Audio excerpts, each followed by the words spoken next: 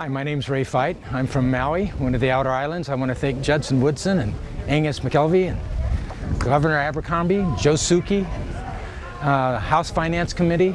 I've been in transportation for 40 years and I appreciate the opportunity to make a living in the film industry in Hawaii. Aloha and mahalo.